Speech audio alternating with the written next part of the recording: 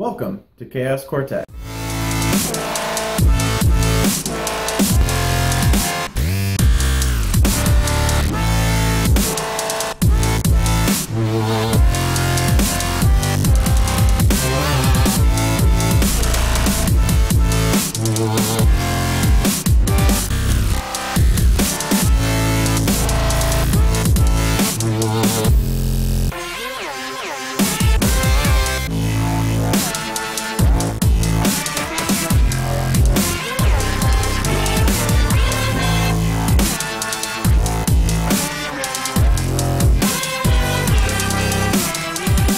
This is a flux capacitor. Attempt to make an LED flashlight. Today we're going to make a phone hole. We have a 3D printed R2D2.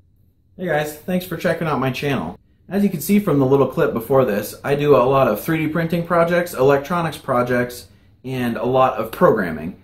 And I also do some pretty big projects like R2 here that combine all three of those. You know, my channel is really about kind of a combination of tutorials and learning with me because I am by no means an expert on any of this.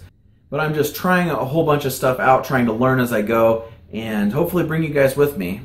So I'd love to have you subscribe. I put out at least three new videos every week, usually Monday, Wednesday, Friday. Sometimes I manage to put out more videos than that.